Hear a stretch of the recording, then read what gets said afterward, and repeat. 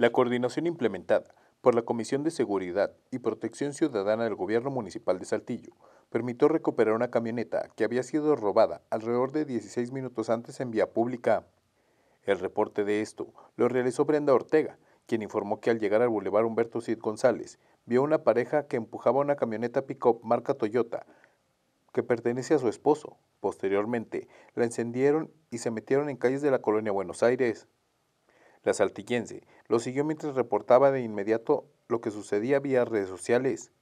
La Comisión de Seguridad y Protección Ciudadana envió a las patrullas más cercanas en tanto que la unidad de videovigilancia del Centro de Control y Comando inició el monitoreo en específico. La camioneta fue recuperada y los presuntos responsables detenidos. Acción que gracias al trabajo en conjunto de la ciudadanía y de las autoridades pasaron menos de 20 minutos para que fuera recuperada. Para IRCG informó Christopher Vanegas.